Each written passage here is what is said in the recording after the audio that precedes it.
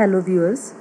This lecture is destined for students of chemistry who have topic chelation therapy in their curriculum, particularly for MSc chemistry third semester. Metals in medicine is the topic and chelate therapy is the main topic which you will be studying through this video.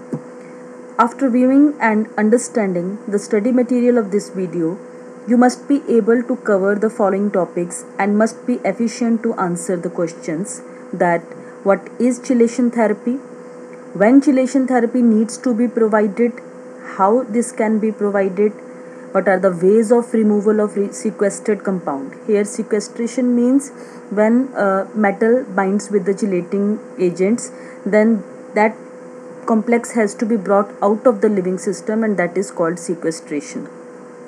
What are the specific characteristics for suitability of a chelating agent used in chelation therapy? That all the chelating agents can be used for this therapy or there must be some characteristics.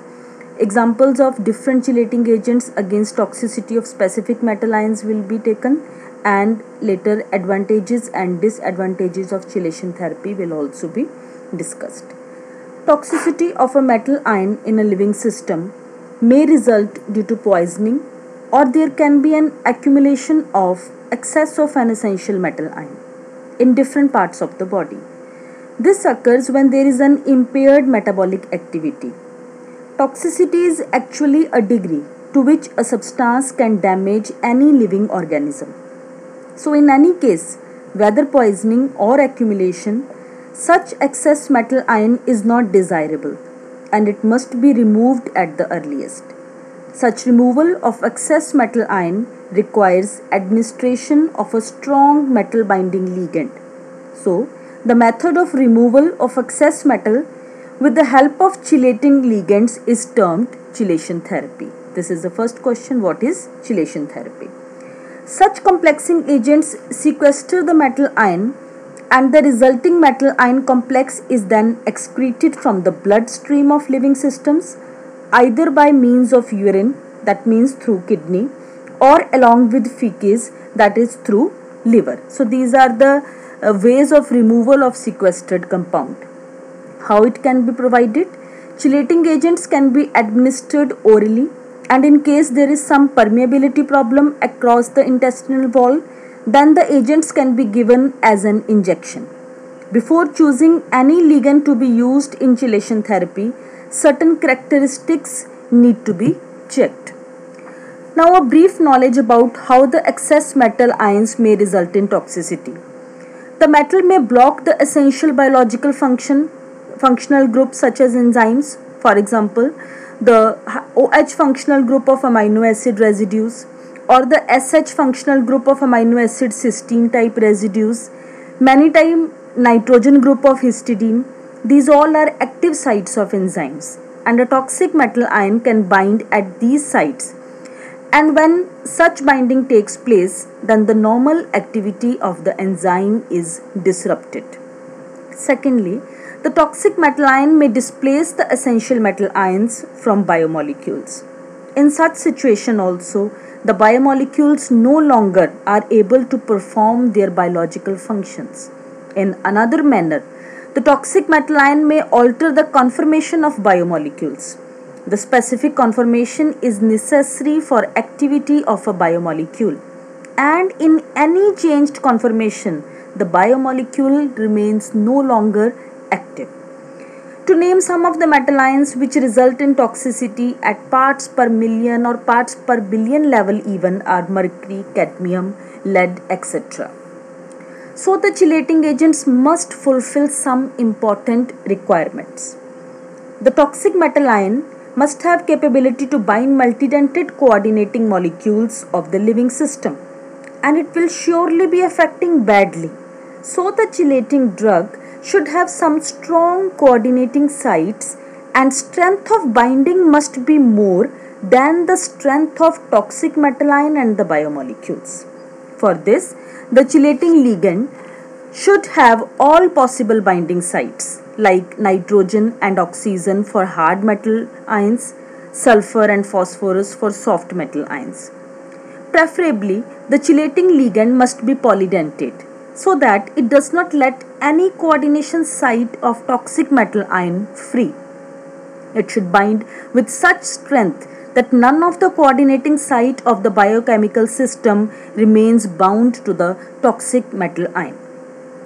Next, the chelating ligand should not have any toxic effect of itself and it should not cause damage to the other biomolecules. The lethal dose of the chelating drug administered should be sufficiently more. Next, the chelating drug must be specific to attach to the target toxic metal ion only. Our body requires many essential metal ions, notably calcium and zinc ions, so the drug should not affect any of the essential metal ion of the body. The chelating drug itself should not undergo any reaction with the biomolecules. Its function is mainly to act as a binder and sequester of toxic metal ions. The cell membranes are of hydrophobic lipid nature and the chelating drug has to pass through such membranes. Thus, the chelating drug should preferably have some hydrophobic groups to achieve easy permeability across the membranes. The complex of the toxic metal ion and the chelating drug must be water soluble, so its removal through the kidney may be easy. Now, next example of chelating drugs will be discussed. Polyamino polycarboxylic acids are the best chelating agents which fulfill the requirement of having polydentate nature and of forming very stable complexes with metal ions. Ethylene uh, diamine tetraacetic acid EDTA. It is a much used ligand in treatment of metal ion poisoning. You can rightly see in its structure there are six coordinating sites one nitrogen, second nitrogen, and four oxygens there. And it is very effective against lead ion poisoning but marginally effective against cadmium ion poisoning. Generally, it's used as calcium salt in treatment so that calcium is not labilized from the skeleton. Calcium EDTA is used in lead poisoning to avoid the problem of hypocalcemic tetany. Radioactive strontium poisoning also can be cured using this EDTA that is ethylene diamine tetraacetic acid. Dicobalt chelate of EDTA has also been used against cyanide poisoning. A modification of linking a lipid to DTPA that is diethylene triamine pentaacetic acid this is the structure Due to lipid group attached, DTPA transports readily across the membranes and serious poisoning of plutonium metal can be eliminated using this agent. The DTPA chelated complex is ultimately excreted well across the membranes and through the system. This is representation of a strong metal complex having chelate effect as well as the five membered rings. Five membered rings does mean when this metal is bound at the center 1, 2, 3, 4 and 5. All these parts are forming five membered rings which are giving extra stability to such metal chelate complex. So this is about the first type of chelating drug that is the polyamino polycarboxylic acids. Next is British anti-Lewisite. This was precisely the first chelating agent used against metal poisoning. There was release of a poisonous gas Lewisite during World War. The arsenic of the gas Lewisite bound with sulfur of many important enzymes and proteins. British anti-Lewisite. The name was given because it was acting against the gas Lewisite. It is 2,3-dimercapto-1-propanol. This is the structure two, 2,3-dimercapto-1-propanol. Here the ligand BAL is able to bind arsenic of the Lewisite from its two mercapto sites. These are called two mercapto or the sulfur sites and Lewisite is able to bind with this site also. So in this way this complex of BAL with arsenic is removed from the body then. BAL is also used against mercury, antimony, bismuth, copper, nickel, zinc and gold etc. Here I may add that essential metal ions may also become toxic if present more than permissible limit at a time. There has been reports of toxicity of BAL. So alternative compounds of BAL has also been used. These are sodium salt of 2,3-dimercaptopropane 1-sulfonic acid. This is the formula of 2,3-dimercaptopropane 1-sulfonic acid and its sodium salt has been used to avoid the toxicity of British antilewisite. Another is 2,3-dimercaptosuccinic acid. These are used being more soluble and less toxic. DMSA has merit of being less toxic and it can be given orally also. Next are the cysteine derivatives. You must understand cysteine being the constituent amino acids of the enzyme proteins, it is very easily acceptable to the living system. It binds strongly with metal ions but disadvantage is that it is biodegradable. So a dimethyl derivative, dimethyl derivative, these are the two positions. Now this is dimethyl derivative of cysteine called penicillamine. It has been used as chelating agent for removal of lead, mercury, platinum and antimony. Penicillamine is effectively used as a drug to sequester excess copper deposited in the body parts.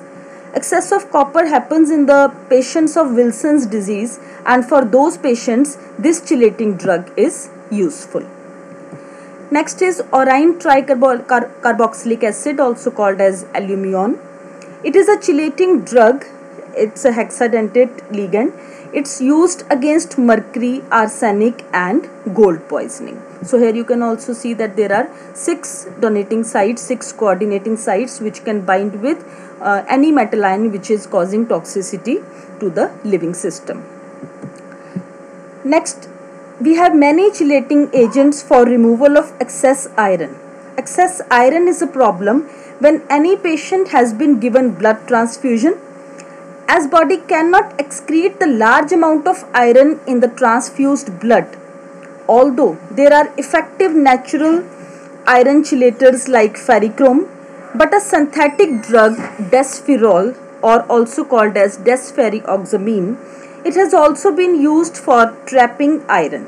It is uh, having three bidentate oxamine. These are the oxamine sites. First site, then second site, and this is the third site. So it has having uh, oxamine coordinating sites and it is very effective synthetic drug to remove excess iron from the body and last is the tetraethylthiuram disulfide which has been used against toxicity uh, when alcohol is intoxicating in the body.